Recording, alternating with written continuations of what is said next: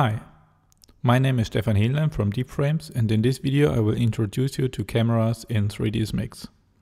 We will cover how to create cameras, the most important parameters and how to manage cameras in the scene.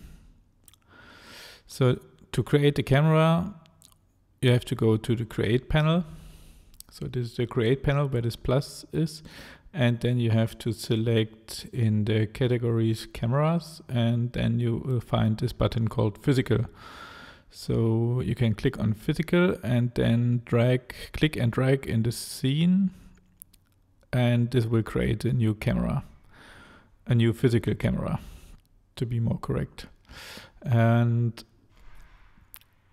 in 3ds max uh, this camera consists now of a camera and a target. The, the, square here is the target, and the target is like a helper object. And if you moved it, the camera will always look to this target object. And so you can't, with a targeted camera, you can't rotate the camera because it's always looking to the square. And to change that, you can select the camera here and go to the modify panel. And here will you will find all the parameters for the camera. So here on the top is targeted. So if you uh, uncheck that uh, this target is now disappeared. And you can rotate the camera freely again. Um, now I will create a few objects in front of the camera. So we have a very basic scene. And to look through the camera, you have to go here to perspective and cameras and click on this. Uh, here have, you have a list of all cameras. So I only have one camera in the list, which is called physical camera uh, 001 and I can click now here and I will look through the camera. And to move the camera now to change the camera view, uh, you can use these eight icons here in the bottom right corner to navigate the cameras. It's very similar to navigate the scene. So I can click on orbit now and move the camera here so I see uh, all my objects. And to select the camera again, you can click here on camera and on select camera.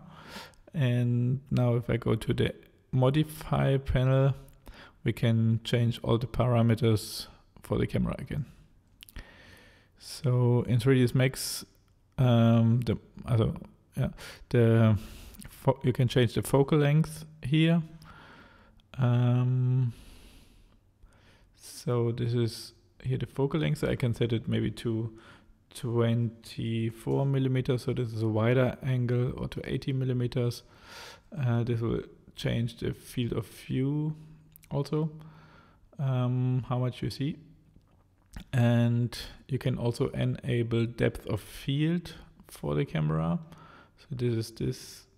And you will also see it in the viewport. But at the moment, the effect is very tiny because the aperture, which is here, it's uh, set to 8, so it's quite a small aperture. And if I set it maybe to 1.2, um, that's a bigger aperture, so the lens is more open and uh, the effect will be stronger. If I go now a bit closer, or I can also change the focal length to maybe 80 millimeters that will also increase the effect. Um, now you can see that some uh, that the objects are already blurred a bit, and so the the it should be. I, I will go back to a targeted camera. Um, that's so I will check this again and now I have a target. Maybe I will go to the in the top view and so you can go to the top view by clicking here on this physical camera and then top and now the target is uh, in front of the object. I will move it maybe more to this middle object to this box and go to the camera again and now um, all the objects in front of this box and behind the box are more blurred.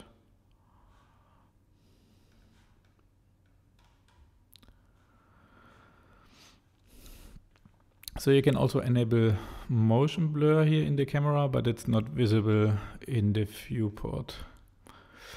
Um, another thing I want to show is the auto tilt correction.